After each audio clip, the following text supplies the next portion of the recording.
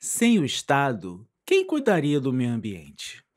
Este é o Visão Libertária, sua fonte de informações descentralizadas e distribuídas. Ajude a propagar as ideias de liberdade. Deixe o seu like e compartilhe com seus amigos. Um artigo seu pode virar vídeo aqui também, sabia? Este artigo foi escrito por Leandro Eagle, revisado por Sr. Smith e será narrado por mim, Djalma Guedes. Você já percebeu como cada vez mais as pessoas estão deixando de esperar pelo governo e tomando ações por conta própria? Porque no final, se a gente não agir, quem é que vai? Fizemos vídeos sobre isso, os links estão aqui na descrição. Mas hoje, nosso foco serão as iniciativas voluntárias e privadas para proteger o meio ambiente. É fato que cada vez mais indivíduos e empresas estão se preocupando com a preservação da natureza. E isso, naturalmente, está resultando em iniciativas voluntárias de indivíduos e empresas para ajudar o meio ambiente. Vamos começar com a iniciativa do projeto da Eco Barreira, feito pelo Diego Saldanha, que viralizou nas redes sociais. Diego, que mora em Colombo, no Paraná, vende frutas nos semáforos. Ele cresceu perto do rio Atuba, mas viu o rio se transformar em um depósito de lixo. O que ele fez? Ficou parado esperando o governo agir? Não. Ele decidiu mudar isso. Afinal, como era de se esperar, o Estado, embora se diga o grande defensor do meio ambiente, nunca fez nada para resolver o problema.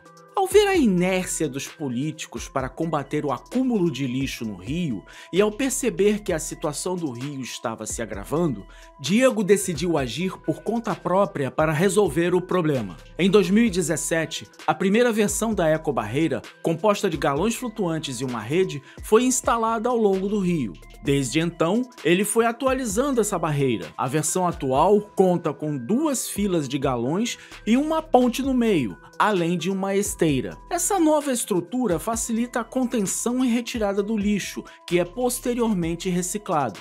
Diego financiou tudo com o próprio dinheiro. Agora imagine se fosse o Estado. Quanto dinheiro seria desviado? Quanta burocracia atrasaria o projeto por anos?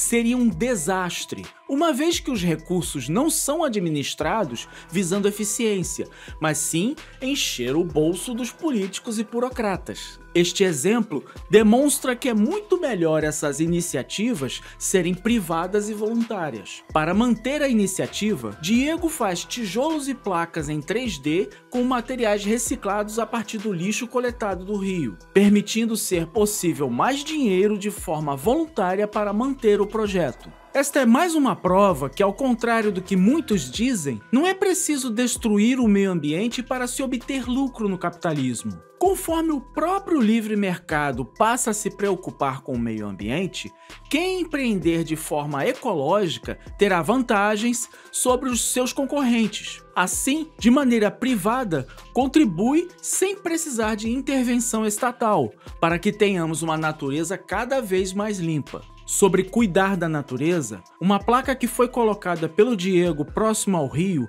com uma frase dita por Ross Perot, representa o que realmente é cuidar da natureza. Abre aspas. Ativista não é o homem que diz que o rio está sujo. Ativista é o homem que limpa o rio é o que mais vemos por aí.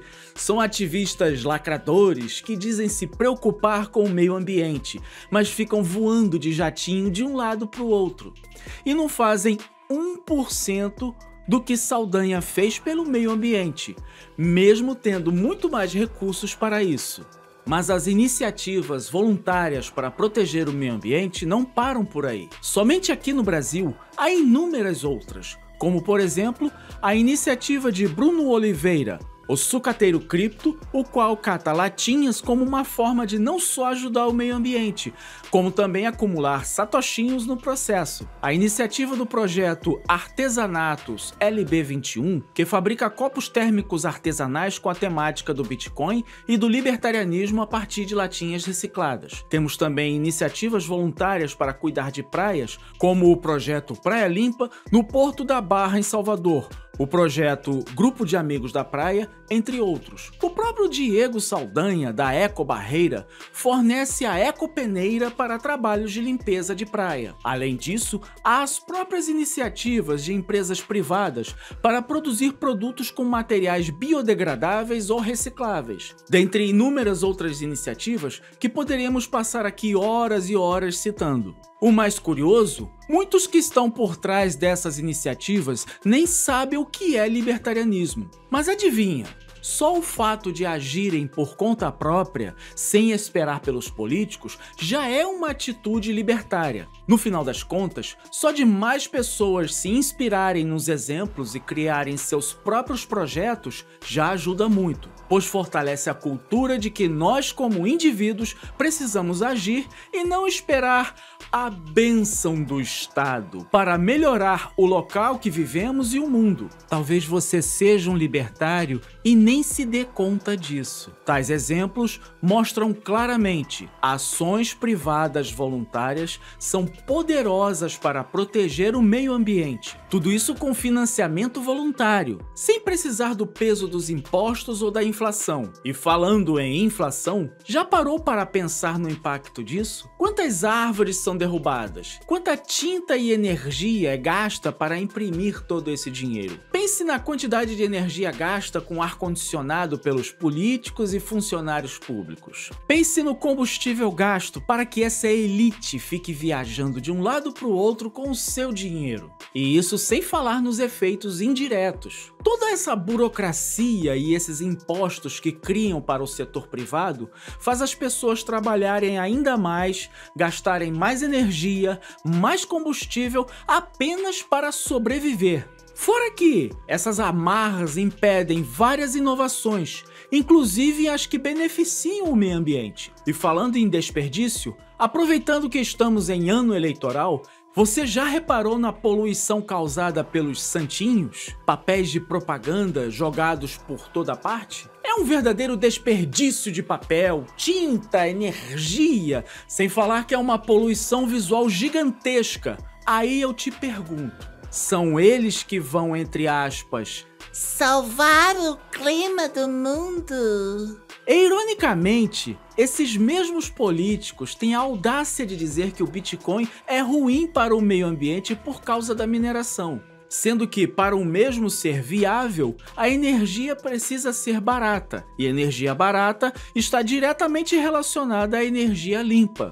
Nós já fizemos um vídeo falando sobre esse tema aqui no canal, o link está na descrição. É óbvio que eles sabem disso, mas querem usar essa narrativa para tentar manchar a imagem do Bitcoin. O Bitcoin pode não ser um problema para o meio ambiente, mas com certeza é um problema para o poder estatal e do sistema fiduciário. Esse sim é o maior destruidor do meio ambiente. Além dos motivos citados anteriormente, as próprias guerras são um exemplo disso. O exército americano é um dos maiores poluidores do mundo desperdiçando combustível, energia e vidas. Usar o dólar significa financiar esse esquema global. Infelizmente, os históricos de destruição ambiental causada pelo Estado não param por aí. Os maiores desastres ambientais foram causados direta ou indiretamente pelo Estado. Por exemplo, o Mar de Aral na antiga União Soviética que foi dizimado por causa da intervenção estatal. A contaminação do lago Karachay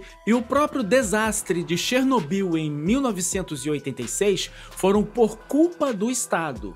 Já fizemos vídeos no canal contando a história desses casos. A comunidade do Bitcoin tem um lema, Make War Unaffordable, porque o Bitcoin enfraquece a principal fonte de financiamento das guerras, a impressão de dinheiro. Na verdade, o Bitcoin é uma das invenções mais ecológicas já criadas. Aqui no Brasil, os desastres de Mariana e Brumadinho também foram causados pelo Estado, pois embora a Vale seja formalmente uma empresa privada, na prática, como é uma empresa amiga do rei e tem um monopólio garantido por leis estatais, ou seja, de privada ela não tem nada, acaba não se preocupando com a segurança das pessoas que moram em torno de suas barragens, como consequência, causando duas catástrofes consecutivas. Infelizmente, como é entre aspas, justiça estatal, está do lado da Vale, as vítimas não estão sendo indenizadas de forma justa. E pode pôr muitas aspas nisso, pois justiça que tende para um lado não pode ser chamada de justiça. Todos esses casos só comprovam que o Estado não está nem aí com a natureza.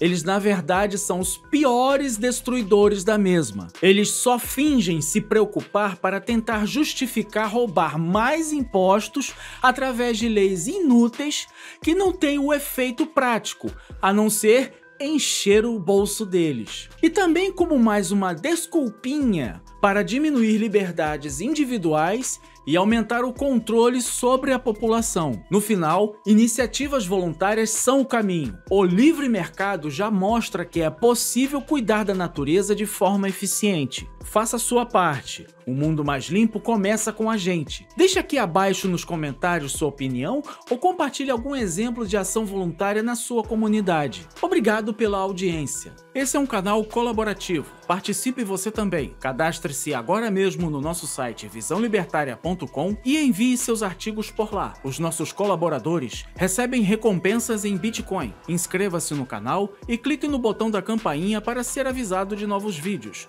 Até a próxima!